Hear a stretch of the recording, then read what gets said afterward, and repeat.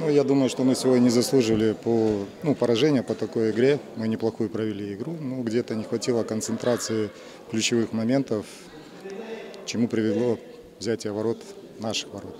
Поэтому по игре я думаю, что игра была равная, она держала напряжение зрителей, и тренеров, поэтому где-то фортуна улыбнулась сегодня Насафу, и он победил. Какие впечатления оставил Насаф вам? Вот, Вы опять, компром-.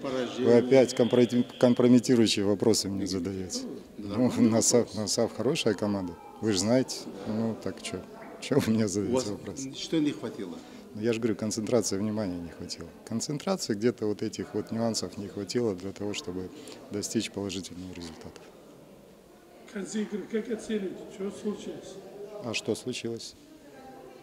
Родина в мировом ми- футболе э, все тренеры признают поражение и поздравляют за игру. Ну, Что-то мы смотрели, как-то вы игнорировали, что ли. а я не игнорировал. Если, так если, нам тренер, если тренер перед игрой подходит, тебе жмет руку, да, перед игрой? Это нормальная А ситуация? после игры что? Но после игры тренер имеет право. Нет, тренер имеет право. Другой тренер расстроился, ушел. Ну, мы видим, везде это так приветствуется. Э, Тренера Вы, вы, мне, вы мне вопрос задаете? Но Я вам ответил. так не поступает. У нас Как не поступает? Кто не поступает? Вы меня, вы, вы меня в чем-то... В чем? В чем? Вы меня, вы меня в чем-то обвиняете? Спрашиваю, можно как? Тренер расстроился, тренер расстроился, ушел. Но вы по футболу говорите мне, что вы мне задаете вопросы компрометирующие какие-то?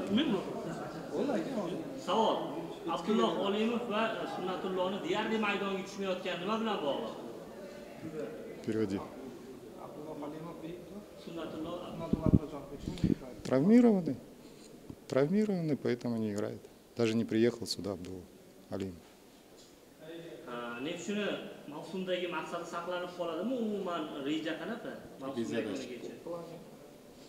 Ну, давайте, я еще раз говорю, я не хочу говорить, чтобы публику подогревать. Да, я же нормальный человек.